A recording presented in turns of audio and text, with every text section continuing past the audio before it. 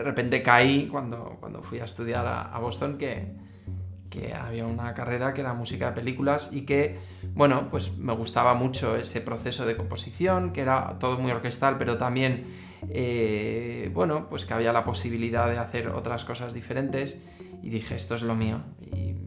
Desde el principio me encantó. Cuando empiezo una película siempre entra el miedo que me imagino que a la mayoría les pasa de, ah, lo voy a hacer bien, yo no valgo para esto, porque me han contratado a mí. Pero trato de que sea mínima ese momento y ¡boom! Ya me voy a la práctica. Bueno, pues tengo que empezar con algo. Ah, hago así, un acorde, dos acordes y ya empiezo con ideas. Son muchas decisiones, es un puzzle que voy montando, voy haciendo capas y eso me gusta mucho no solo cuándo y por qué poner una nota, sino cuándo y no poner una nota y dejar el silencio, que forma parte de la música. Al final lo importante son las historias y respetar mm, pues, lo que es eh, la intención del, del director y respetar la imagen y tratar de apoyar musicalmente esa emoción. Y luego sí es cierto que la parte orgánica de trabajar con músicos de verdad, con gente muy preparada. De hecho, aquí en España tenemos músicos maravillosos, pues es muy bonito. Se genera una energía bastante interesante. Me ha abierto bastante el, haber viajado, haber estado en otro país tan diferente, con sus cosas malas y también sus cosas buenas. Y creo que como artista es interesante poder aprender de otras culturas. Creo que lo mejor para tratar de no repetirse es tomarse un tiempo, boom, oír otras eh, músicas, otros artistas, ver otras películas y luego volver. Y cuando vas de una nota a otra pensar, ah, pues en vez de esta nota voy a probar otra.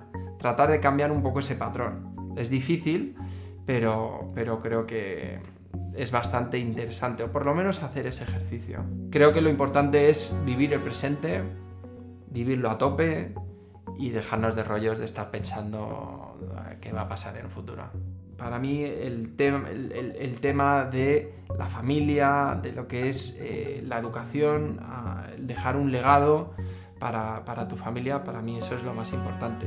No me siento parte de una generación. Ahora creo que está todo tan conectado ha cambiado todo mucho, hay una diversidad, creo que eh, ya hay una conciencia de, respeto de género a las mujeres, eh, eh, creo que seguimos teniendo mucho machismo, pero bueno, el, hecho de, poder ayudar a, las mujeres y, ponernos de nuestro lado todos como sociedad es muy importante y ahí sí que noto unos avances que en mi generación desde luego no, no había y, lo, y lo aplaudo y lo apoyo, vamos, a tope.